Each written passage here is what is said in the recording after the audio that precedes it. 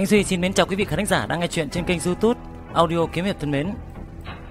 Mời quý vị và các bạn chúng ta cùng tiếp tục đến với tập 17 của bộ truyện Tiên hiệp dài tập Độc bộ thiên hạ, tác giả Thạch Trư, qua giọng đọc thể hiện Khánh Duy.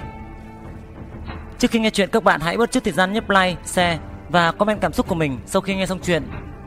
Các bạn cũng có thể donate ủng hộ, động viên cho Khánh Duy bằng các hình thức đã được ghi dưới phần mô tả. Mọi sự ủng hộ quan tâm của quý vị, Khánh Duy xin chân thành cảm ơn. Và bây giờ, mời quý vị và các bạn chúng ta hãy cùng tiếp tục lắng nghe, theo dõi những diễn biến tiếp theo của câu chuyện Độc bộ thiên hạ tập 17 ngay sau đây.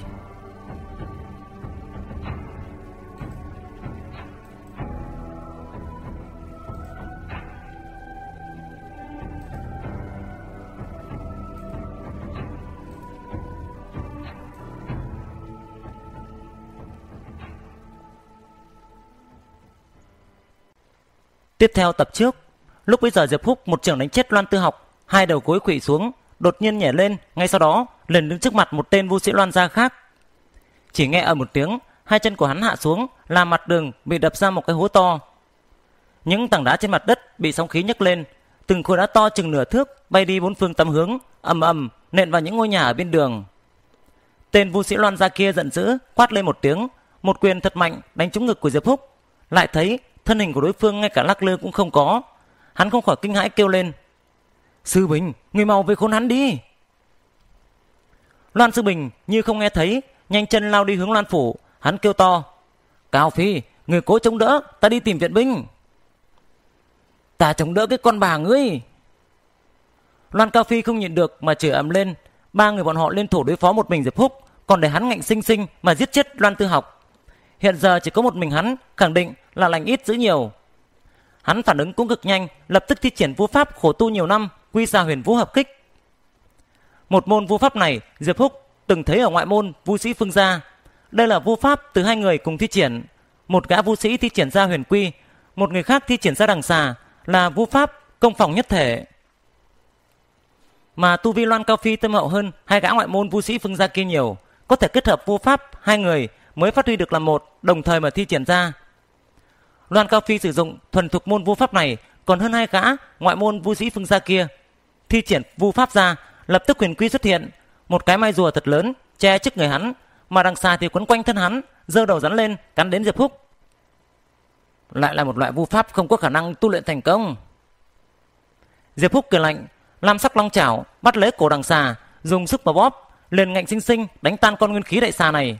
Một quyền khác lại đánh thật mạnh lên trên chiếc mai rùa. Một quyền này lại không thể đánh bại Loan Cao Phi, chỉ khiến cho hắn lảo đảo mà lùi về phía sau. Diệp Húc không khỏi khẽ an lên một tiếng, lộ ra vẻ kinh ngạc. Loan Cao Phi thì cười ha ha, lạnh lùng nói: "Tiểu tử, nhục chưa?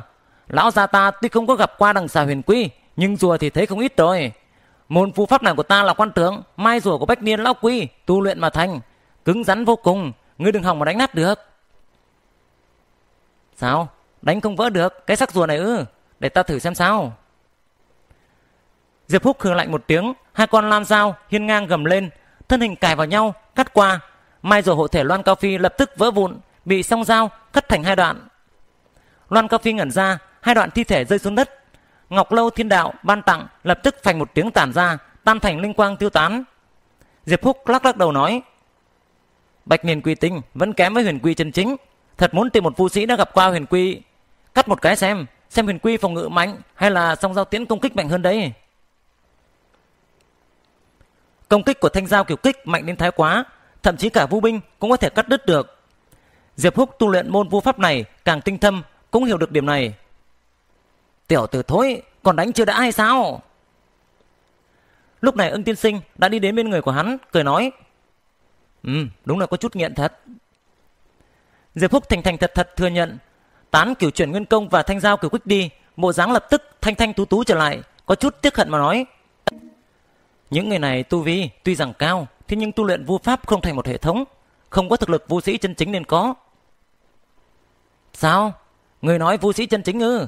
Ngoại trừ danh môn đại phái chính đạo và ma đạo thì chỉ có những gia tộc kế thừa mấy ngàn năm mới có thể dưỡng ra bậc nhân vật như vậy. Những thế gia đó có nhiều loại vu pháp hơn nữa, trong tộc cung phụng một ít tiêu thú thượng cổ dị chúng, chuyên dùng để cho con cháu tu luyện vô pháp. Ưng tiên sinh cười lạnh, hắn nói, Thực lực của bọn họ không phải những tiểu gia tộc miêu cưng các ngươi có thể tưởng tượng được. Năm đó mô gia từng gặp một đệ tử của một thế gia đại Việt ra ngoài du lịch. Tu vi chỉ có tam chân cánh, chân nguyên kỳ. Đã liền đánh cho ta mình đẩy thương tích rồi. Nếu không phải lúc đó ta ỉ vào tốc độ, phi hành cực nhanh. Đã bị hắn đánh chết mất rồi. Tiểu tử, gặp được loại đệ tử đấy, người tốt nhất trốn xa bao nhiêu, liền trốn bấy nhiêu đi. Hắn tuy rằng nói như thế, trong mắt cũng không khỏi lộ ra ánh sáng khắc thường, thầm nghĩ. Không biết nói tên tiểu tử này thế nào đây, thật sự có thể đánh với đệ tử thế gia đại phiệt một hồi. Nói không chừng còn có thể thắng được nữa kìa. Tuy nhiên, nếu ta khen hắn, khẳng định hắn sẽ kiêu ngạo tự mãn, vẫn là đả kích hắn thì tốt hơn. Ừ, tiểu tử này quả thật chính là một con quái vật mà. Diệp Tư Đạo, cái tên cầm thú kia mạnh rõ là tốt mà. Ưng tiên sinh, có dám làm một trận lớn hay không? Lúc bấy giờ Diệp Húc nóng lòng muốn thử, hắn cười nói. Ưng tiên sinh cười lạnh. Tại vùng Bách Mân Sơn này còn có chuyện mô gia không dám làm hay sao? Tiểu tử, người muốn làm gì? Ờ thì chặn cửa. Trong mắt Diệp Húc tinh quang lóe lên, quả quyết mà nói. Chặn cửa loan ra rồi lại đánh, đánh cho bọn chúng chịu thua mới thôi. Hắn không hề có một chút thảo cảm nào đối với Loan gia Việt Châu. Lúc trước, Loan Sư Bình dẫn dắt hai tên thiếu gia Loan gia ở Hắc Cộc Lĩnh, không nói một lời nào, liền định giết hắn, giết người chỉ để luyện tập, coi mạng người như cỏ rác. Diệp Phúc trước nay có thủ tất báo, tốt với hắn, hắn liền tốt lại gấp trăm lần, mà động thủ với hắn, hắn liền đánh lại gấp ngàn lần. Hiện giờ có một tên đại yêu tu vi sánh ngang với Diệp Tư Đạo, hắn liền động tâm tư, tính toán quét sạch danh dự Vũ Hoang thế gia Việt Châu này. Hơn nữa, hắn còn phát hiện phương thức lấy chiến dưỡng chiến, bất kể là đối với tu vi hay kinh nghiệm chiến đấu mà nói, đều cực kỳ có lợi. Thời gian hắn động thủ với ba người Loan Sư Bình tuy ngắn, thế nhưng khiến thực lực của hắn để thăng rất lớn. Chặn cửa chính Loan ra sao? Ưng tiên sinh hoảng sợ, chặn cửa chính một vu hoang thế gia, không khác gì tát một cái vào mặt gia chủ Loan gia, chỉ sợ Loan gia sẽ nổi trận lôi đình, dốc toàn bộ sức mạnh. Dù Ưng tiên sinh luôn cả gan làm loạn, nhưng y cũng chưa bao giờ nghĩ làm chuyện lớn như vậy. Nếu tiên sinh sợ, bây giờ chúng ta liền chạy trốn thôi. Ánh mắt của Diệp Phúc lóe lên, hắn cười nói: "Khốn kiếp, người dám khích tướng ta sao?" Ưng tiên sinh cười lạnh, bước nhanh hướng Loan gia, yêu khí ngút trời, hắn nói: Mỗ ra liền thích bộ dạng này của ngươi. Con của Diệp Tư Đạo Ta cũng dám mắt khóc đi. Còn có chuyện gì là mỗ ra không dám làm nữa đấy Tuy nói rằng như thế Hắn cũng có chút lo sợ bất an ở trong lòng. Nếu như Loan gia có cao thủ như Diệp Tư Đạo liền đủ địch lại với hắn. Nếu có hai cao thủ như Diệp Tư Đạo liền đủ để lưu hắn lại. Liệt tổ liệt tông ưng ra Xin phù hộ Loan ra ngàn vạn lần Đừng xuất hiện cao thủ như tên Diệp Tư Đạo kia Dù có xuất hiện cũng đừng âm hiểm như tên Diệp Tư Đạo khốn kiếp đó là được. Diệp Húc dắt can sải dao đi theo phía sau của ưng thiên sinh. Kiều Kiều ngồi trên lưng ngựa, hiếu kỳ mà hỏi. Thiếu gia, chúng ta thật sự đi chặn cửa hay sao? Người ta có thể đi ra theo cửa bên mà. Còn có cửa sau, ừ, cửa lệch, thậm chí có thể trèo tường mà. Diệp Húc lắc đầu, bật cười nói. Nhà đầu ngốc, cửa chính là thể diện của một thế gia. Nếu bị người chặn, khẳng định mất hết thể diện. Bọn họ sẽ thả chết sẽ không đi từ cửa hông, cửa sau đi ra ngoài đâu. Tô Kiều Kiều thè lưỡi, đột nhiên nàng cười nói. Thiếu gia, vì sao vừa rồi không đưa cho ta hai thanh truy đồng dưa hấu, đập ba tên khốn nạn kia? Diệp Phúc không nói gì, nghĩ nghĩ một chút, quyết định vẫn nên để tiểu nha đầu này biết sự khác nhau giữa vũ binh và vũ khí thế tục. liền tế ra ngọc lâu, lấy truy đồng dưa hấu ra, giơ tay vỗ một cái, làm thanh đại đồng truy nặng trên dưới 100 cân kia lập tức ngắt thành bột đồng. Lòng bàn tay của Diệp Phúc tuôn nguyên khí ra, bột đồng kia bị nguyên khí nóng rực đốt thành chất lỏng văng khắp nơi, từng giọt nhỏ xuống mặt đường. Tô Kiều Kiều hoảng sợ. Cái này, cái này nếu chụp lên thân người... Diệp Phúc lắc đầu cười khổ, tiểu nha đầu Kiều Kiều này vẫn chưa thoát khỏi suy nghĩ trước đây, không ý thức được sự khác nhau giữa vũ sĩ và người thường. Hắn bất đắc dĩ nói: "Kiều Kiều, chỗ ta còn vài món vũ binh, cho ngươi một kiện phòng thân đi." Hắn xem những thứ cất trong ngọc lâu, lấy ra một thanh bắt lăng đại chùy. Đầu của chuôi bắt lăng đại chùy này so với đồng chùy dưa hấu còn to hơn, cán dài hơn năm thước, là vũ binh hắn nhặt được ở trong ưng sầu giản, nặng gần ngàn cân. Không nói câu gì, liền nhét vào trong tay của Tô Kiều Kiều. Thiếu gia, kỳ thật người ta thích vũ khí nhỏ nhỏ một chút kìa. Tô Kiều Kiều bĩu môi, tủi thân mà nói. Trong ngọc lâu quả thật có một thanh quỷ đầu đao và một bảo kiếm không biết tên, còn có vũ binh hắn mới thu được của hai gã vũ sĩ loan gia, thể tích cũng không quá lớn. Diệp Phúc đang định lấy món vũ binh này ra, đột nhiên nhìn thấy Tô Cực Kiều cưỡi chân con ngựa gầy, tay mang theo một cái đại chùy thật lớn, tà tà dựa vào bên người, có vẻ anh khí bừng bừng, tư thế oai hùng hiên ngang, đẹp mắt hơn bình thường rất nhiều. Ánh mắt liền sáng lên, cười nói: "Chỉ có kiện này, cái khác không có." Nhưng là người ta rõ ràng nhìn thấy, vừa rồi người thu đi vũ khí của hai người kia. Diệp Phúc giả vờ như không nghe thấy, vội vàng đuổi kịp Ưng Tiên Sinh. Ưng Tiên Sinh sớm nghe hai người bọn họ nói chuyện, hiểu rõ suy nghĩ của Diệp Phúc, tán thưởng mà nói: "Tiểu tử kia, ánh mắt không kém, nếu ngươi cùng con nhóc sinh một đứa bé, khẳng định tươi ngon. He he, nghĩ một chút thôi cũng khiến cho mỗ già chảy nước dãi rồi. Ê, ngón trỏ đại động Đợi khi Diệp Phúc đi ra khỏi đường phố kia, mới có cư dân Việt Châu lục tục nhô đầu ra ngoài. Đợi khi nhìn thấy một đống hỗn độn ở trên mặt đường, mặt đất nơi nơi đều là vết nứt, giữa đường còn có một cái hố to tầm ba bốn thước, bên trong có hai dấu chân khắc trên đá, trong lòng không khỏi hoảng sợ. Thiếu niên vừa nãy tuổi tác cũng không lớn, sao lại lợi hại như vậy được? Lợi hại thì có ích lợi gì chứ? Đắc tội với Loan gia, hắn còn có đường sống hay sao? Hiện nay Việt Châu ta chỉ có một vu hoang thế gia là Loan gia. Năm trước một cái vu hoang thế gia điền ra liền bị Loan gia ra tay tiêu diệt. Thiếu niên này giết người của Loan gia. Thật đúng là bạt dâu miệng hổ, ngại bị chết quá chậm đây mà. Mà mà bọn họ trốn rồi chăng? Nếu như Loan gia biết tin rồi, chắc chắn sẽ phái cao thủ đi truy giết bọn họ. Đáng tiếc, thiếu niên thiếu nữ kia đều tuấn tú lịch sử Mau nhìn mau nhìn, bọn họ không có trốn mà lại đi hướng Loan phủ kia. Mấy người này không biết có lai lịch gì đây, giết người của Lan gia rồi còn không trốn, ngược lại tới cửa khiêu khích sao?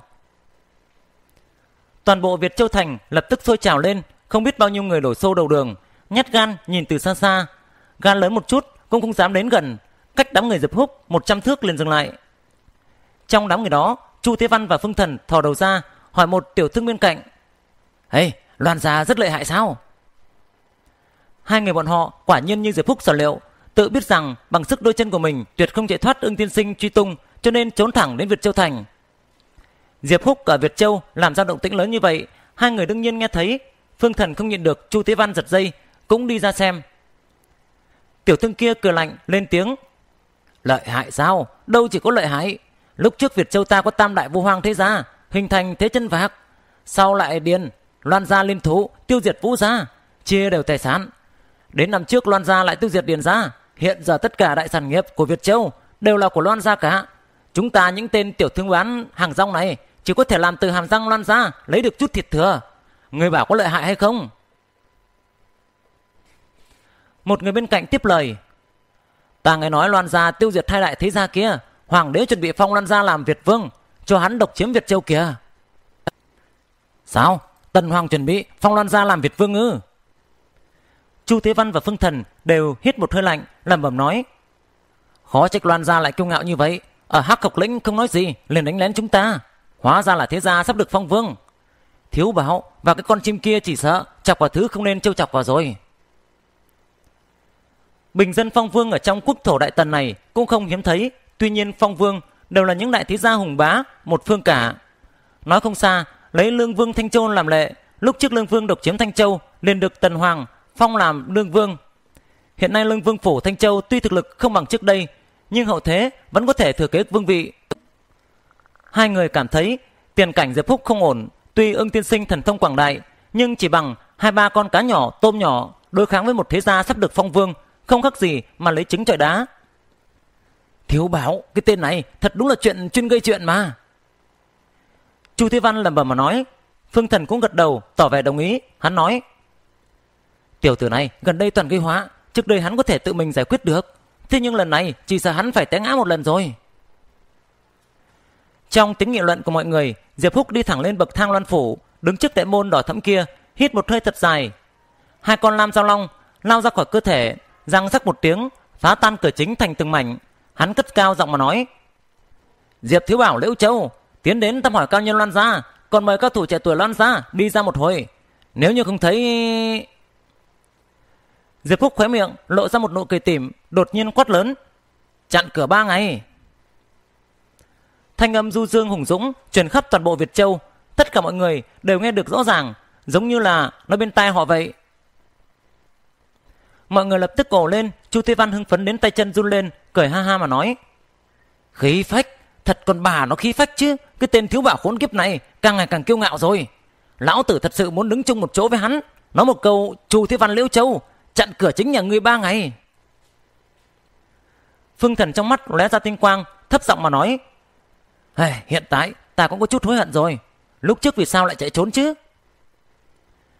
Tuy rằng Phương Thần tu luyện huyết ma nguyên hồn đại pháp, tính tình có chút kỳ quái, nhưng hào khí từ trước tới giờ vẫn chưa hề giảm. Diệp Phúc vừa dứt lời, bên trong Loan phủ lập tức truyền đến một tiếng gầm. Diệp Phúc dùng mình chỉ thấy một luồng ngân quang từ trong chỗ sâu Loan phủ dâng lên, đong một tiếng, liên tục xuyên qua mấy cánh cổng cùng vách tường, thẳng tắp bắn tới hắn. Trong chớp mắt liền áp tới lông mày và lông mi, tốc độ cực nhanh, làm cho người ta gần như không thể né tránh. Diệp Húc trợn mắt nhìn lại, đã thấy vũ binh kia chính là một thanh sắc kiếm, trắng như nước, bị nguyên khí bọc lại, lớn như một con thuyền con, nhưng lưỡi kiếm lại mỏng như lá liễu. Thanh kiếm này vừa mỏng lại lớn, không có chuôi, chỉ có thân kiếm, hai đầu đều là mũi kiếm, hình dạng không khác gì lá liễu là mấy. Diệp Húc quát một tiếng, nắm tay thẳng đón thanh cự kiếm kia. Nắm tay của hắn và mũi kiếm chạm vào nhau, không ngờ phát ra một tiếng đinh giòn vang, tuôn ra một đám tia lửa. Thanh cự kiếm kia ẩn chứa một sức mạnh lớn đến mức khó có thể tưởng tượng được. Đánh Diệp Húc lui một bước, sức mạnh trong kiếm vẫn chưa hề giảm đi. Thế chưa hết, đột nhiên dựng thẳng lên, đánh xuống đầu của Diệp Húc. Là một cao thủ. Diệp Húc không khỏi hưng phấn lên, nguyên công vận chuyển, xuất ra lam sắc long chảo, liền chụp tới cự kiếm kia. Chỉ nghe một trận tiếng ken két chói tai vang lên, hắn không ngờ không thể bắt được thanh kiếm hình lá liễu này. Hắn dùng mình trong lòng, thanh kiếm này hai đầu đều là mũi kiếm, nếu chém lên người, hắn không thể khẳng định mình sẽ không bị thương, mà tay hắn là nơi phòng ngự mạnh nhất, chỉ có thể lấy tay mà đón đỡ. Cự kiếm lá liễu giống như một con thuyền con, bay lên bay xuống ở trên không, như cuồng phong bão táp lướt hướng Diệp Húc, lại tựa như một cao thủ võ đạo ẩn thân tấn công hắn vậy. Loại thủ đoạn ngự vật này cực kỳ tinh diệu, so với đám người Loan Sư Bình, Cao Minh không biết hơn bao nhiêu lần. Diệp Húc dám khẳng định kẻ chưa lộ diện kia chắc chắn là vũ sĩ trung tâm của Loan gia. Đinh đinh. Thế công của cự kiếm lá liễu đều bị Diệp Húc tiếp được, người chưa lộ diện kia dường như nguyên khí không được kết. Thế công thoáng chậm lại, lập tức bị hắn nắm được một tia sơ hở. Hai con lam dao một trước một sau cắn vào hai đầu của cự kiếm. Thân hình trắng muốt tầng tầng lớp lớp quấn quanh cự kiếm, nhảy vào trong ngọc lâu. Ha, phẩm chất thanh kiếm này cao hơn những vũ binh trước kia rất nhiều, thu hoạch thật lớn. Diệp Phúc Hưng phấn vạn phần ở trong lòng. Cái này quả thật là cách phát tài đơn giản nhất mà. thằng nào Diệp Phan tiền bối luôn thích đánh cướp khắp nơi. Một thế gia luyện chế một kiện vu bảo rất là khó khăn, mà ông ấy lại có đủ tài lực vật lực luyện chế ra từ mẫu bách quỷ phiên. Giờ đây ta mới biết được nguyên nhân. Tiểu bối ngu rốt kia, trả lại liễu diệp kiếm cho ta. Trong lan phủ đột nhiên xuất ra hơn 10 người. Thanh nhất sắc vu sĩ, có nam có nữ, có già có trẻ, khí thế thật là hùng hổ. Trong đó có một gã nam tử áo trắng đi ra khỏi đám người, nhìn thẳng vào Diệp Húc, hừ lạnh mà nói. Giao liễu Diệp kiếm ra, ngươi tự sát đi, ta có thể làm chủ, cho ngươi được toàn thây. Nếu không ta mà nổi giận lên, ngươi tất nhiên thi cốt vô tồn.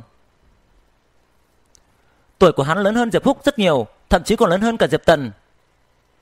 Nhị thiếu gia, cần gì phải nói nhiều với hắn, chúng ta bắt hắn lại, chém thành nát vụn. Một vũ sĩ thấp bé cười lạnh lên tiếng. Loan Sư Bình sắc mặt âm trầm nói: "Nhị thiếu gia, tên tiểu tử này giết tam thiếu gia, tứ thiếu gia và thất thiếu gia, ngay cả Tư Học và Cao Phi cũng chết trong tay của hắn. Giờ đây là tích cửa, không cần nói quy củ với hắn ta. Mọi người cùng xông lên để chết hắn."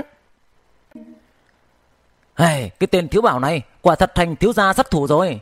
Phương đồng phương gia của ngươi rồi còn có Diệp Kiên lão cứu của Diệp gia, hình như đều bị hắn xử lý thì phải. Ở phía xa xa Chu Thế Văn nghe vậy liền bật cười, nói với Phương Thần đứng ở bên. Người loan ra quá là cuồng vọng. Ưng tiên sinh đứng sau Diệp Húc lúc bấy giờ cũng đột nhiên mở miệng. Yêu vân đỉnh đầu của hắn nổi lên, yêu khí tràn ngập, chỉ thấy trên yêu vân đen xỉ kia một con vút xà dài trăm thước dần dần hình thành con quái vật này hung uy bắn ra tứ phía, làm cho người ta gần như nghĩ rằng đó không phải là vô pháp mà thực sự chính là thượng cổ dị chủng. Dưới uy yêu mạnh mẽ này, tất cả mọi người đều không hề nghi ngờ rằng nếu con vũ xà này đại phát hung uy, một kích có thể dễ dàng bình định hơn phân nửa của Loan phủ. Vừa rồi, vị tiểu ca này đã nói muốn gặp các cao thủ trẻ tuổi Loan gia. Nếu các ngươi không theo quy cũ, đừng trách mô gia nổi giận. Ưng tiên sinh nghe răng cười một tiếng, thanh âm cuồn cuộn như sấm, hắn ca giọng quát. Chẳng lẽ loan gia hùng bá Việt Châu, ngay cả khí độ này cũng không có hay sao? y cố ý lấy thế đè người, khí thế rất mạnh, bức cho tất cả mọi người không thể mở miệng nói chuyện. Sau một lúc lâu, chỉ nghe trong lan phủ truyền đến một thanh âm hùng hồn, chậm rãi nói: "Sẽ như người mong muốn." Trong đội phủ Loan gia đột nhiên dâng lên một tòa bảo liễn hương xa, dừng trên khoảng không của Loan phủ, kéo xe là hai con tượng nghiêu cấp tinh quái. Loại tượng nghiêu này là dị thú cực kỳ hiếm thấy, mũi mọc hai sừng trâu, lưng có đôi cánh, thân thể trắng như ngọc, vững vàng đứng ở giữa không trung. Bên trong xe, một thiếu niên 17, 18 tuổi ngồi ngay ngắn, đầu đội vương miện, mặt như thoa phấn, mặc một kiện hoàng bào, ở trên đó sắc màu sặc sỡ, thêm một mặt trời chói chang, bên trong có ba con quái điểu ba chân. Nơi khác lấy mây làm phụ trợ, góc áo thêu 12 hoa văn, mặt trời mặt trăng và ngôi sao, long phượng sơn hà. Chỉ riêng bộ y phục này liền đủ để thể hiện ra thân phận hắn cao quý ra sao. Phía sau của thiếu niên, hai tên kỳ mạo dị phục đứng hầu hạ một bên, tất cung tất kính, thở mạnh cũng không dám, hẳn là tôi tớ của thiếu niên này. Thiếu niên này hẳn sẽ không phải là gia chủ loan gia đấy chứ. Ưng tiên sinh kinh hãi thất sắc, y có thể nhìn ra hai tên tôi tới phía sau thiếu niên một thân tu vi, thậm chí còn thâm hậu hơn hắn vài phần, tuyệt đối đã đạt tới đỉnh tam chân cảnh hôn nguyên kỳ. Thiếu niên kia lại càng khủng bố hơn, tu vi sâu không lường được, thậm chí ngay cả y cũng không nhìn ra. Lần này bị Diệp Thiếu Bảo hại thảm rồi, không ngờ thực lực loan ra lại mạnh như vậy. Thiếu niên kia thản nhiên lướt đi một cái, ánh mắt như kiếm, khiến cho ưng tiên sinh kinh hoàng không thôi, suýt chút nữa không kìm nổi mà chạy chối chết. Chỉ thấy thiếu niên kia thản nhiên cười, trên mặt mang theo một cỗ ngạo khí, khinh thường tất cả, dường như không để ai ở trong mắt, mà chính hắn mới là cao cao tại thượng. Dường như liếc người khác một cái đều là ban thưởng, đột nhiên nói xuống ở phía dưới. Loan phủ chủ, mời lên ngồi. Tạ ơn Đông Hoàng Mục tướng quân ban ngồi. Chỉ thấy một lão giả, tóc xám trắng, diện mạo uy nghiêm chậm rãi bay lên, rơi vào trong bảo lễ hương xa, ngồi bên vị trí dưới tay của thiếu niên kia, đúng là gia chủ Loan gia, Loan Thiên Hà. Sao? Đông Hoàng Mục tướng quân ư? Chẳng lẽ không phải người Loan gia ư? Đông Hoàng Mục, Đông Hoàng. Ưng tiên sinh dùng mình lập tức nhớ tới một gia tộc cổ xưa nhất vu hoang thế giới này, dòng họ đúng là Đông Hoàng. Nghe nói Đông Hoàng nhất mạch đúng là một trong những gia tộc cổ xưa nhất. Gia tộc này có lai lịch từ xa xưa, thời thượng cổ từng xuất hiện một vị thiên đế thống trị Đông Phương, Thương Thiên, sau bị Thanh đế lật đổ. Chẳng lẽ thiếu niên này là truyền nhân gia tộc Đông Hoàng sao? Ưng tiên sinh kinh hãi trong lòng, thầm nói: Vừa rồi nghe lão giả kia gọi hắn là Đông Hoàng Mục tướng quân, hay thiếu niên này là tướng quân đại tần đây? Nói như vậy, chẳng phải là người trẻ tuổi tu luyện ra nguyên đan rồi sao? Đông Hoàng Mục tuổi tuy mới 17-18, lớn hơn Diệp phúc 2-3 tuổi, liền tu luyện ra nguyên đan. Phần tu vi này đủ để khinh thường tất cả thanh niên tài năng tuấn kiệt ở trên đời. Loan phủ chú, thánh thượng mệnh cho tướng quân nhà ta khảo sát Loan gia, rồi mới quyết định có phong Loan gia ngươi làm Việt vương hay không. Phong hay không đều là một ý niệm của tướng quân nhà ta kìa.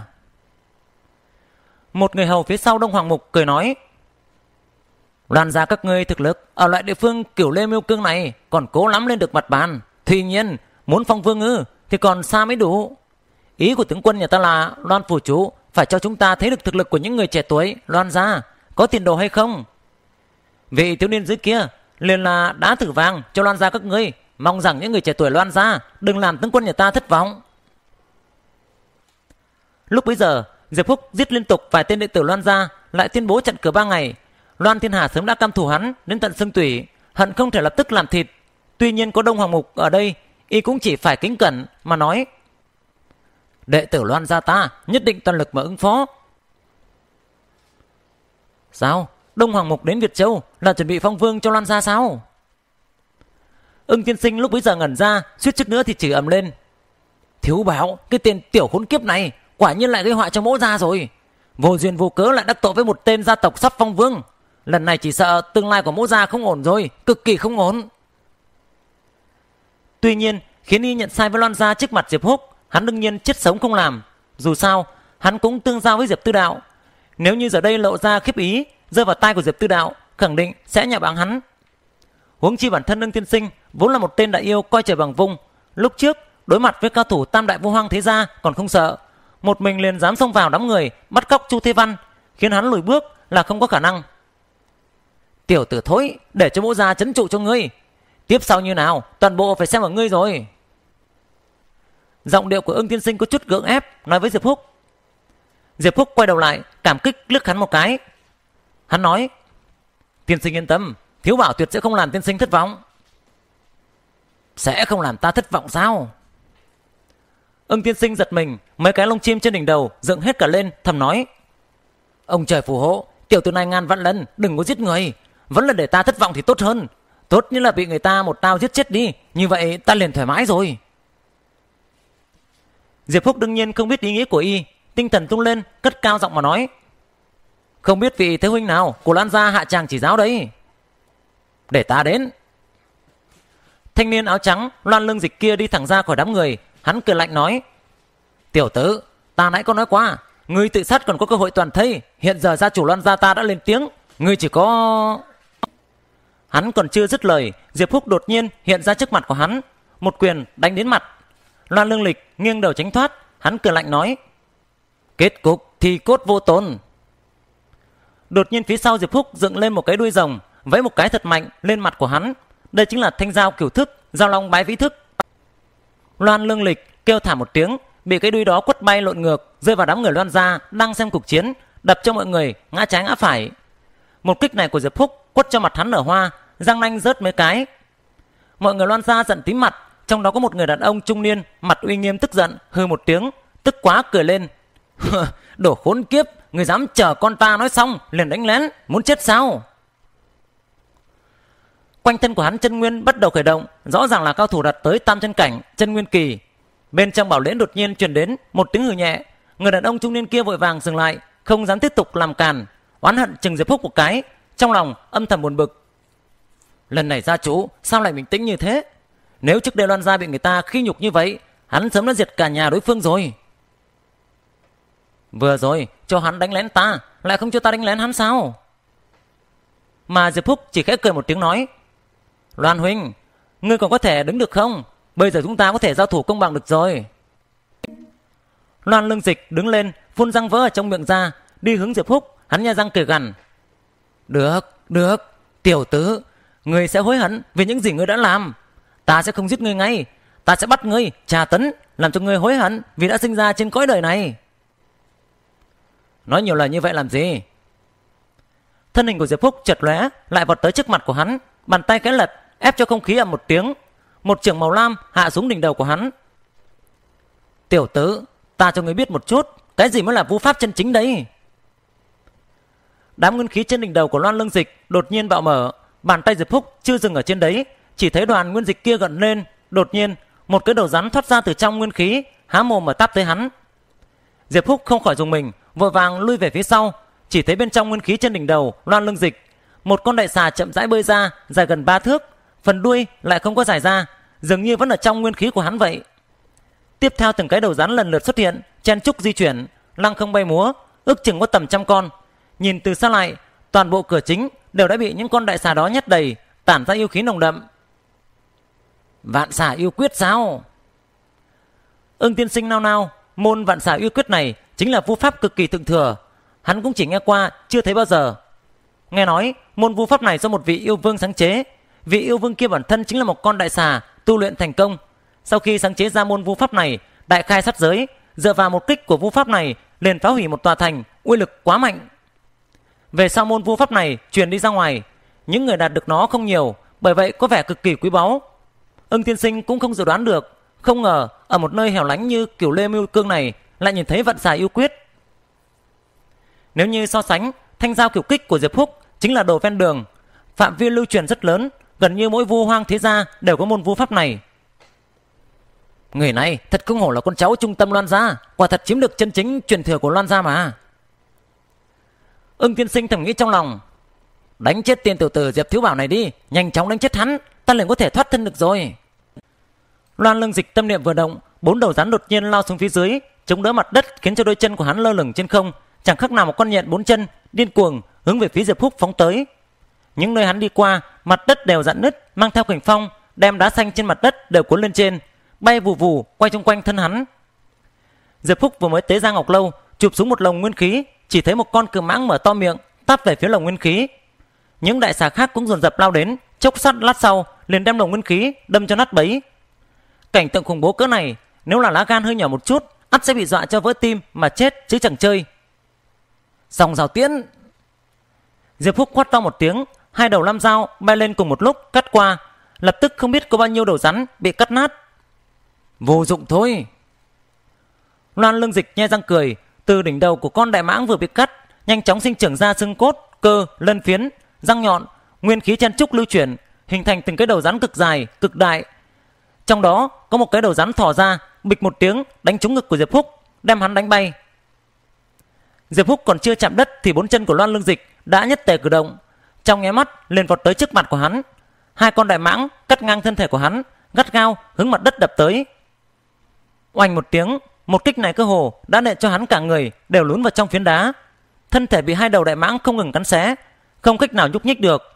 Hắn trừng mắt nhìn lên, chỉ thấy gần trăm cái đầu đại mãng như mưa rơi xuống, nhắm thẳng vào người hắn đánh tới. Chết cho ta! Loan lương dịch, mặt mũi dữ tợn, hắn cười ha ha, đem uy lực của vạn xà yêu quyết triệt để triển khai. Hắn biết rõ thân thể Diệp Húc cường hãn, vu pháp bình thường, vu binh bình thường đều không thể thương tổn. Bởi vậy, cũng không thao túng vạn xà, cắn xé mà trực tiếp dùng tấn mạnh mẽ đánh tới. Chính là muốn ép cho hắn chết tươi.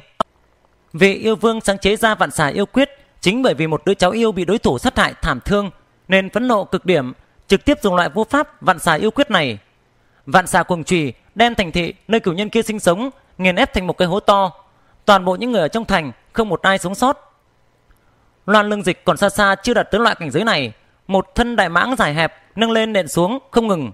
Chỉ thấy loạn thạch bay tán loạn. Trong khoảnh khắc, mặt đất chỗ Diệp Húc rơi xuống liền bị đập bể thành một cái hố sâu gần 3 thước đường kính hơn trượng. Cư dân của Việt Châu đứng ở nơi xa xa quan sát thế vậy thì nội tâm âm thầm dầu dĩ. Có người thở dài mà nói. Hey, thiếu niên kia khi mới vừa gia nhập Liễu Châu thì uy phong bá đạo đến bực nào chứ? Mới đến đã giết loan ra ba người, thậm chí trong đó có hai vũ sĩ cố nguyên kỳ. Bất quá hắn quá cuồng vọng, giết người xong rồi còn không tranh thủ thời gian mà chạy trốn, lại đứng chặn cửa trước cửa loan ra, chọc giận hạch tâm đệ tử chính thức của loan ra. Chu Thế Văn mục quang chấp động nói với Phương Thần: "Tiểu Hạch kém, ngươi cùng tiểu tử loan gia này giao thủ, ai thắng đấy?" Phương Thần cười ngạo nghễ, thản nhiên mà nói: nếu như ta và hắn cùng một cảnh giới, một chiêu liền có thể tiến hắn quy thiên. Nếu như vận dụng vũ binh, ta hiện tại liền có thể xử lý hắn. Trên vũ binh của bọn họ vẽ loạn dị quả, kịch độc, thậm chí đến cả cao thủ cỡ Tông Khai Dương cũng đều có thể độc chết được. Dùng để đối phó với loan lương dịch đơn giản nhất bất quá. Bởi vậy Phương Thần mới có thể nói ra như vậy. Chu Thế Văn cười hăng hắc nói Thiếu bảo khẳng định sớm đã nghĩ đến điều đó rồi. Bất quá hắn vì sao không có sử dụng vũ binh đây? Chẳng lẽ tiểu tử này còn có sở thích bị đánh đập nữa hay sao? Nếu quả thật là như vậy, lão tử ngược lại có thể thỏa mãn cho hắn được kìa. Người mà cùng hắn độc tấu thì chỉ có một kết quả duy nhất là bị đánh cho bầm dập mà thôi. Phương Thần cười lạnh chêm vào. Chu thế Văn lúng ta lúng túng không nói, hắn không thể không thừa nhận. Nếu quả thực cùng Diệp Phúc giao thủ thì trừ phi hắn lợi dụng điện phong song dực mà trốn cho xa thì không nói, chứ nếu như cận chiến thì hắn chắc chắn sẽ không thoát khỏi kết cục bị đập trên tơi bời. Tô Kiều Kiều lúc bấy giờ sắc mặt tái nhợt, khẩn trương nhìn về phía trận đấu, hai tay nắm chặt, móng tay bấm sâu vào da thịt đến mức trắng nhợt cả lên, chỉ hận không thể lập tức lao ra đem Loan Lương Dịch mà đập giết. Sắc mặt của Loan Thiên Hà vốn âm trầm, rốt cục cũng lộ ra vẻ tươi cười, hắn cười nói: "Đồng Hoàng tướng quân, đệ tử này của Loan gia ta thế nào hả? Cũng được quá đi đi chứ." Đông Hoàng Mục mỉm cười, một người hầu sau lưng hắn cười nói: "Loan phủ chủ, đệ tử này của ngươi càng ngày càng suy kiệt, trong vòng ba tức hắn hẳn phải chết không thể nghi ngờ. Loan Thiên Hà biến sắc mặt, cái chảy cái cối mà nói. Cái này còn chưa chắc đâu, hiện tại đã qua một giây rồi. Người hầu kia mỉm cười, ngậm miệng không nói. Loan Thiên Hà cười lạnh. Giây thứ hai. Vừa dứt lời, đột nhiên thấy trong cái hố to chỗ đang chứa Diệp Húc kia bay ra hàng hà xa số, những lam dao vọt lên, đem vạn xài yêu quyết của Loan Lương Dịch phá tan thành từng mảnh. Những lam dao này hình thể không lớn, chỉ dài khoảng một thước và thôi.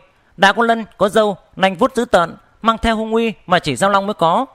Sau khi xé nát vạn xài yêu quyết, lập tức phóng về phía loan lương dịch, đâm thẳng vào trong cơ thể của hắn, rồi theo đó mà lao ra ngoài. Chỉ nghe tiếng pang pang vạo bạo vang lên không dứt, thân thể của loan lương dịch lập tức bị phá vỡ thành không biết bao nhiêu cái lỗ máu. Mắt lộ ra vẻ kinh ngạc, quay đầu lại nhìn về phía phụ thân của mình, há hốc mồm, còn chưa tới kịp nói chuyện thì một con lam dao siêu nhỏ đã nhích động chui tuột vào trong đầu của hắn rồi lại từ chán chui ra ngoài Diệp Phúc theo sau nhảy bật ra khỏi cái hố sâu, tất cả dao long lam sắc đều trở lại trên đỉnh đầu của hắn, tung bay không ngừng. Đột nhiên lần lượt chui vào trong đan điền, biến mất, không thấy gì nữa. Đây chính là quần dao loạn vũ, một thức này không nằm trong thanh dao kiều kích mà là Diệp Phúc sau khi chứng kiến vạn xà yêu quyết thì đã dựa vào trí tuệ của chính mình khai sáng ra một thức vu pháp này. Thi triển ra thì có thể có hình thức khác với vạn xà yêu quyết, nhưng kết quả lại giống nhau đến kỳ diệu. Không chỉ có như thế, tu vi của hắn dưới áp lực do loan lương dịch gây ra đã có bước đột phá, thành công bước vào bồi nguyên lục phẩm. Bởi vậy mới có thể có nguyên khí thâm hậu đến như thế mà thi triển ra bảy dao long cuồng loạn nhảy múa, đem loan lương dịch nhất cử bắn chết. Mặc dù đã trúng rất nhiều kích của loan lương dịch, thế nhưng trên người của hắn không hề có vết thương nào cả. Thế mạnh của cửu chuyển nguyên công đã được thể hiện ra triệt để, chỉ có quần áo của hắn là bị băm nát, có phần hở hang, để lộ ra nửa thân trên cũng không phải là quá cường tráng của hắn. Diệp Phúc lấy ra một bộ quần áo mới, mặc lên rồi cười nói với ưng tiên sinh. Thiếu bảo may mắn không làm nhục mệnh, cuối cùng cũng không làm cho tiên sinh thất vọng rồi. Lông chim trên gáy của ưng tiên sinh không ngừng lắc lư, hàm hàm hồ hồ mà lên tiếng, tiếp tục duy trì bộ dáng cao nhân, bất động thanh sắc mà nói. Người có thực lực này, mô gia thực cảm thấy vui mừng mà. Trong lòng của hắn lại âm thầm ấn thầm. Cái tên tiểu tử này lại giết chết một đệ tử nữ của Loan gia, chẳng khác nào tắt thẳng vào mặt Loan gia gia chủ một bật tai cả. Thật sự là quá tệ, đúng là cực kỳ không ra gì. Diệp Phúc có được sự khẳng định của hắn thì tràn đầy tin tưởng, cười vang mà nói. Thế còn kết cục của vị Loan gia thế huynh nó thì sao? Vui lòng chỉ giáo cho. Ưng tiên sinh một bụng uất đức trong nội tâm thầm mắng. Tiểu tử thối, ngươi còn muốn đánh hay sao? Chiếm được tiện nghi rồi thì chúng ta nhanh chóng chạy đi mới là chân lý kìa. Ngươi cứ đánh đến khi Loan gia đỏ mắt rồi, trở mặt rồi thì muốn đi cũng không xong nữa đâu. Trong đám người đứng xem, Chu Thế Văn cùng Phương Thần hít vào một hơi lãnh khí, lẩm bẩm mà nói: "Cái tên thiếu bảo này thật sự là quá cứng hãn mà." Lần này nếu như Việt Châu Loan Gia không thể đưa ra cao thủ trẻ tuổi có thể đánh bại hắn thì thể diện của Loan Gia xem như là đi đời nhà ma luôn rồi. Phụ thân của Loan Lương Lịch là Loan Bình Minh chứng kiến con mình chết thảm tại trong tay Diệp Húc, trong mắt lóe lên sát khí không thể kìm nén, đang muốn động thủ thì nghe thấy tiếng quát thâm trầm giận dữ của Loan Thiên Hà từ trong bảo liễn vang ra. Bình Minh, ngươi còn ngại chưa đủ dọa người hay sao? Lập tức quay lại cho ta. Loan Bình Minh dừng bước nghiến răng nghiến lợi mà nhìn Diệp Húc rồi oán hận trở lại trong đám người. Loan phủ chủ, Loan ra ngươi còn có đệ tử càng xuất sắc hơn nữa hay không? Người hầu sau lưng Đông Hoàng Mục cười nói. Loan Thiên Hà thần thái đờ đẫn, cơ thể run rẩy nói khẽ. Lương Dịch đã là người có tu vi cao nhất trong số các đệ tử trẻ tuổi của Loan gia ta rồi. Lớp thanh thiếu niên của Loan gia ta không một ai là địch thủ của thiếu niên kia cả. Ồ, vậy thì thật đáng tiếc. Loan ra ngươi muốn trở thành cần vương, Còn không đủ tư cách này rồi. Đông Hoàng Mục cười nhạt một tiếng, Đứng dậy, Hoàng bào đón gió tung bay Như một đế vương bao trùm thế gian. Còn những người phía dưới, Toàn bộ đều là thần dân của hắn vậy. Ánh mắt của hắn lạnh lùng, Giống như xem tất cả mọi người Đều là một con kiến hôi. Đây là một loại kiêu ngạo, Một loại kiêu ngạo đã ngấm vào trong máu, Vào tận cốt tủy. Đông Hoàng Mục nhìn về phía Diệp Húc, Mắt lộ ra một tia tán thưởng mà nói, Người rất khá Ta ban cho ngươi có thể làm thân binh Binh lính theo sát bên người của ta. Hắn nói ra lời này Hồn nhiên không hề để ý tới Cảm giác của người khác. Cứ như thể hắn thực sự đang ban ơn cho Diệp Húc vậy Là ân điển lớn lao mà hắn đã ban cho Diệp Húc. Mau mau đáp ứng hắn đi Mau mau đáp ứng đi. Đôi mắt của ưng tiên sinh sáng lên Đột nhiên hấp tấp mà nói Thiếu báo, Vị tiểu tướng quân này là truyền nhân của Đông Hoàng gia. Hắn chấp nhận cho ngươi làm thân binh của hắn. Đây chính là một cơ hội khó mà có được kìa không biết có bao nhiêu người muốn cầu cơ hội này đều không thể kìa. Diệp Phúc sắc mặt của quái, lướt hắn một cái, lập tức ngẩng đầu, nhìn về phía Đông Hoàng Mục, phong khinh vân đạm, lên tiếng. Đa tại ý tốt của tướng quân, bất quá ta trước đây đã từng làm nô tài một lần rồi, không có hứng thú làm lần thứ hai. Người hầu sau lưng của Đông Hoàng Mục cười lạnh mà nói. Tiểu tử, tướng quân nhà ta chịu cho ngươi là một tên thân binh, đây đã là thiên đại ân điển, ngươi cư nhiên còn dám cự tuyệt ư? Người hiện tại quỳ xuống Dập đầu tạ ơn còn kịp. Diệp Phúc nhìn không được mà cười lên Dập đầu tạ ơn ư Đông Hoàng Mục này thật đúng là đem mình làm hoàng đế rồi sao? Hắn lạnh nhạt mà nói Ta không có thói quen dập đầu Ân điều này kính xin tướng quân thu hồi. Ta đã một lần làm nô tài Không hề muốn cả đời làm nô tài đâu. Người hầu sau lưng còn lại hừ lại một tiếng chậm rãi nói Hừm, Có làm nô tài hay không? Không phải là do ngươi. Ngươi chẳng qua chỉ là dựa dẫm vào điều yêu sau lưng mà thôi. Ta đây diệt trừ điều yêu này trước, sau đó lại đến trị tội người sau. Còn bà nó chứ, để ý đến ta làm cái gì? Ưng tiên sinh vừa sợ vừa giận, bất quá, hắn cũng không phải là một người nhát gan sợ hãi, sợ phiền phức. Tức giận, hư một tiếng, vũ xà quy hóa đại pháp chấp động, lạnh lùng nhìn chằm chằm vào hưng sa bảo liễn. Mặc dù hắn đối với Đông Hoàng Mục vừa kính vừa sợ, nhưng vô duyên vô cớ liền muốn giết hắn. Hắn tự nhiên cũng muốn liều liều chết đánh cược một lần. Đông Hoàng Mục căn bản không để vũ xà quy hóa đại pháp của hắn vào mắt, cười nhạt một tiếng nói: "Nguyên nô, mỗi người đều có lựa chọn của riêng mình, không thể miễn cưỡng được. Chấp nhặt với hạng kiến hôi làm cái gì? Thánh thượng lệnh cho ta tuần tra Việt Châu, bây giờ vẫn là trở về kinh sư phục mệnh thì hơn. Nếu làm chậm trễ hành trình của ta thì ngươi không gánh nổi trách nhiệm này đâu." Người hầu cố nguyên nô kia liền vội vàng không người nói Vâng, vâng Hắn thầm nghĩ Tướng quân đi rồi, loan gia cũng sẽ không bỏ qua cho bọn họ bởi vậy mấy người kia chỉ có một con đường chết Xác thực không đáng sau đó Cố Nguyên Nô nhẹ quát một tiếng Tượng Nghiêu liền mở rộng hai cánh Kéo theo hưng xa vào liễn bay về hướng Bắc Đối với bọn người Loan Thiên Hà cực kỳ hờ hững Cũng không để lại lấy nửa lời Hiển nhiên trong lòng Đông Hoàng Mục Loan Thiên Hà cùng Loan Gia không cách nào trở thành càng vương của Việt Châu thì đến cả tư khách cùng hắn nói chuyện cũng không có. Chàng diện lập tức lạnh xuống, chẳng những người của Loan gia không lên tiếng mà đến cả một số cư dân Việt Châu đang vây xem xung quanh cũng giữ im lặng. Chàng diện yên tĩnh đến đáng sợ. Đây cũng chính là khúc nhạc dạo trước cơn bão. À, ưng tiên sinh, ừ, ta thấy chúng ta vẫn là chuẩn trước thì hơn. Diệp Phúc cầm lấy dây cương của can sải dao, dò xét bốn phía, chỉ thấy bốn phương tám hướng đều là một quang đầy thù hận của Vu sĩ Loan gia. Hắn thấp giọng nói: ờ, bọn họ có vẻ như không được thân thiện cho lắm thì phải Không được thân thiện cho lắm sao Ưng tiên sinh diện mục dữ tợn Nghiến răng nghiến lợi mà nói Người giết thạch tâm đệ tử của Loan gia Chính là trước mặt bản dân thiên hạ Tắt thẳng vào mặt của Loan gia Hơn nữa còn giết liền bốn người Thậm chí hủy luôn cả nghiệp lớn phong vương của Loan gia Lại còn hy vọng người ta đối với ngươi thân thiện nữa sao Diệp Phúc cười khan một tiếng thầm nói Ừ, Còn không phải Vì có ngươi ở đây nên ta mới dám không kiêng nể gì hay sao Ừ, tiên sinh, hiện tại chúng ta nên làm cái gì bây giờ? Làm sao bây giờ? Đương nhiên là chạy trốn rồi. Đầu đại yêu kia bày ra một bộ dáng chỉ tiếc rèn sắt không thành thép, nộ quát một tiếng, đem uy lực của vũ xà quy hóa đại pháp triệt để bạo phát. Thân hình vũ xà dài đến trăm mét vừa động, lập tức liền thủy thế ngập trời dâng lên, ầm ầm mà nện xuống loan phủ. Loại vũ xà thượng cổ dị trùng này, trời sinh liền có thể thao túng lũ lụt. Ưng tiên sinh phỏng đoán vũ xà thần vận đã đem cửa này vu pháp tu luyện tới tuyệt đỉnh cảnh giới. Giờ phút này thi triển ra lũ lụt giống như thiên hà chảy ngược, cơ hồ trong nháy mắt liền đem loan phủ bao phủ, làm cho tất cả mọi người trở tay không kịp. Hiện giờ loan phủ cơ hồ đã chìm trong nước biển rồi. Bất luận kẻ nào cũng thật không ngờ đầu đại yêu này cư nhiên hung hãn như vậy. Diệp Phúc tại đây giết đệ tử Loan gia, phá hỏng đại sự phong vương của Loan phủ, mà hắn thì lại càng thêm hung tàn, cư nhiên đưa tới lũ lụt, nước ngập Loan phủ như muốn chảm thảo trừ căn vậy. Trong loan phủ đột nhiên bay lên vài cái lồng nguyên khí cực đại, sáng rực, đem mấy chỗ trọng yếu trong nội phủ bảo vệ chặt chẽ, không bị lũ lụt xâm nhập. Một thanh âm giả nua truyền đến quát lên. Thiên Hà, đã xảy ra chuyện gì vậy? Sao? Trong loan phủ còn có cao thủ sao? Trong lòng của ưng tiên sinh vừa động, vũ xả phóng lên trời, chín đôi cánh chim chấn động, líu lo rung động, mở ra đại khẩu, huyết trì, ép về phía loan thiên hà. Cùng lúc đấy, phần đuôi cự đại của thượng cổ dị trùng này quét vào trong lan phủ, đuôi rắn như một cây cột chống trời cực lớn, cắm vào trong nước, dùng sức mà quấy, lập tức từng tòa phòng ốc sụp đổ, đến mức vô luận là người hay vật, hết thảy bị vỡ thành bánh thịt. Cho dù là vu pháp cao thủ đã tu luyện tới chân nguyên kỳ, thực cảnh thứ ba cũng khó thoát khỏi cái chết. Ưng tiên sinh ra tay cực nhanh, cực hung ác, lệ khí cực thịnh, thủ đoạn lại hung tàn, thậm chí đến cả Diệp Phúc cũng nghẹn họng mà nhìn chân chối, mặc cảm. Đây mới thực sự là vu pháp, đây mới thực sự là bá đạo.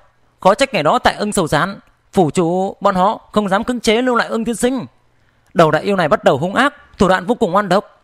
Tam đại thế gia ta chắc chắn sẽ xuất hiện thương vong trên đại quy mô. Hắn thầm nghĩ trong lòng. Mà Loan Thiên Hà lúc này nhìn muốn rách cả khóe mắt Thân ảnh kẽ run lên. Vũ xà liền chắn ở trước người của hắn Há to cái miệng rộng như một huyệt khẩu Cực đại đen ngòm Thổi phù một cái Rồi nuốt trọn luôn hắn vào trong bụng. Đổ hỗn trướng, tự tìm đường chết mà. Loan Thiên Hà mặc kệ cho Vũ Xà nuốt chính hắn vào bụng, đột nhiên trong cơ thể Vũ Xà dài cả trăm mét kia phát ra từng tiếng thình thịch, thình thịch trầm đục, rồi nổ tung thành từng khúc từng khúc một. Trên đỉnh đầu của Loan Thiên Hà loáng thoáng hiện ra một tòa đồng đỉnh, giống như hư ảnh xưa cũ, ngưng trọng quát lên một tiếng lớn. Chỉ thấy tòa đồng đỉnh này, đầu dưới chân trên theo tư thế như trồng chuối, đỉnh miệng truyền đến một cỗ hấp lực lớn lao.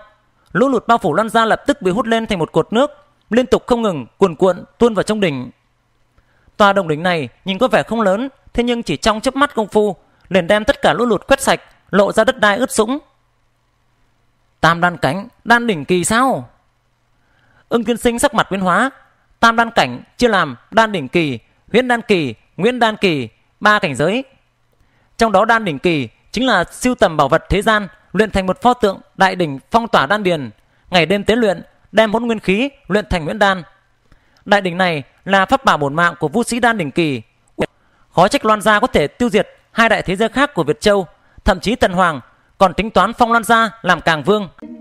Diệp thiếu báo, ngươi còn không mau đi. Còn bà nói chứ, mỗi gia trong này liều mạng, còn tên tiểu tử này thì lại sớm chuồn mất rồi. Ưng tiên sinh nhìn lại, đang muốn có lòng tốt, bảo Diệp Phúc chạy đi, thì đã thấy Diệp Phúc cưỡi thất ngựa, gầy ốm. Trong lòng là Tô Kiều Kiều, đã sớm chạy không còn thấy bóng dáng tâm hơi. Đáng thương chính mình còn ở nơi này mà liều mạng. Tiểu hỗn đản này quả như là từ cùng một khuôn của Diệp Tư Đáo đúc ra mà, giả hoạt thì không ai bằng. Ưng tiên sinh thét dài một tiếng, đột nhiên biến hóa ra bản thể, đôi cánh xải ra gần 20 mét, phóng lên trời, bay ra ngoài Việt Châu. Muốn đi sao? Loan Thiên Hà mặt lạnh như tiền, đồng đỉnh hướng con ưng khổng lồ chùm tới, miệng đỉnh lập tức truyền đến một cỗ hấp lực cực lớn, lôi kéo thân hình của đại yêu kia. Lần này, Loan gia có thể nói là đã bại triệt để, cư nhiên bị một tiểu vũ sĩ bồi nguyên kỳ khiến cho cả bay chó chạy, danh đầu càng vương cũng không cánh mà bay, thậm chí lại còn bị đầu đại yêu này đại náo một hồi, tử thương vô số, uy phong mất sạch. Nếu như không trừ diệt được đầu đại yêu này cùng với Diệp Húc, thực khó mà giải được mối hận ở trong lòng của hắn. Ưng tiên sinh bị hấp lực từ đồng đỉnh truyền đến, kéo lại không cách nào bay đi, trong miệng lập tức truyền đến một tiếng ưng tiếu. Một vũ xà cự đại từ trên mình con ưng khổng lồ vọt dậy, hung hăng đụng vào trong đỉnh đồng, đem tòa đại đỉnh chấn động không ngừng. Loan Thiên Hà, mẫu gia nếu như muốn đi, không ai có thể ngăn cản ta lại được. Ưng tiên sinh cười ha ha, hai cánh chấn động như bão táp bay đi. Trong loan phủ truyền đến một tiếng hừ tức giận, chỉ thấy một vị lão giả tóc trắng tung bay, phi thân mà đuổi theo hắn. Loan Thiên Hà vội vàng quát lên. Tam thúc, ngay đuổi theo tên Diệp Thiếu Bảo, ngô ngực kia, ta đuổi theo giết đầu đại yêu này. Được. Lão giả tóc trắng này tên là Loan Cao Thượng. Diệp Phúc lúc trước cái chuyện thì hắn đang bế quan trong nội phủ, cũng chưa từng gặp qua Diệp Phúc. Loan Cao Thượng hai mắt như điện, quét nhìn bốn phía quát lên. Bình minh, ngươi triệu tập tất cả vũ sĩ, tìm tòi mọi nơi, tuyệt không thể để cho tên tiểu tử kia chạy ra khỏi địa giới Việt Châu được. Những vũ sĩ loan gia may mắn còn sống lập tức chia nhau xuất động, chạy khắp Việt Châu, khắp nơi tìm kiếm nơi hạ lạc của Diệp Húc.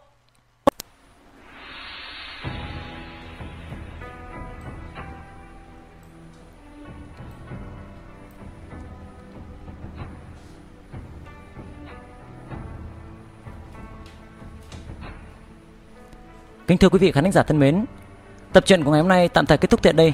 Chúc quý vị nghe chuyện vui vẻ. Xin chào và hẹn gặp lại quý vị ở các tập tiếp theo.